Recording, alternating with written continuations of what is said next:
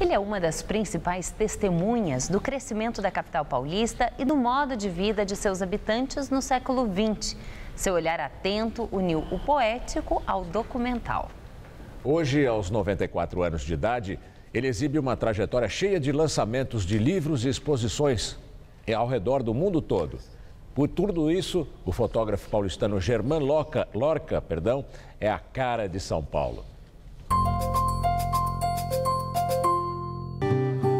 Encontro com German Lorca não poderia ser em outro lugar. O estúdio de fotografia dele na Vila Mariana, na zona sul da cidade. Este senhor, cheio de vitalidade, fala com entusiasmo da profissão. A primeira máquina fotográfica ganhou quando tinha apenas 13 anos de idade. A trajetória como fotógrafo foi interrompida temporariamente até se formar em ciências contábeis, mas logo voltou a fazer o que mais gosta, não é que quase perdeu o casamento por causa da fotografia. Só pensava em fotografia que minha mulher ficou enciumada, jogou a máquina no chão e quebrou. Mas aí eu comprei outra. Para aprimorar a técnica, ele foi em busca de conhecimento e se tornou membro do Fotocine Clube Bandeirante, um dos mais antigos do país. Para aprender bem fotografia, não tinha escolas, então falei que foram talvez um clube de fotografia. De fato, no clube de fotografia, fotoclube era uma verdadeira escola. E nesses 70 anos de carreira, Lorca caminhou por diversas áreas da fotografia.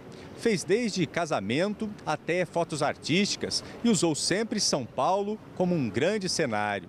Mas Lorca confessa que tem uma preferência: fotografar o cotidiano das pessoas. Algumas fotos eu construí, outras fotos eu captei. Né? Pessoas, crianças, por exemplo.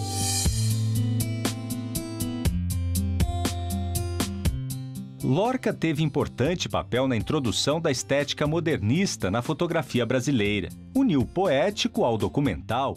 Sem preconceito, avalia que a câmera digital veio para aperfeiçoar o trabalho para ele, algo que o fotógrafo não pode perder é a sensibilidade na hora de registrar o instante. A composição, não é o olho do fotógrafo, o momento que ele conseguiu fotografar, isso é importante. Hoje muita gente constrói fotos no computador. Quer dizer, fica, não sei se fica meio frio, mas eh, também é fotografia. E a arte está evoluindo, ninguém sabe para onde vai.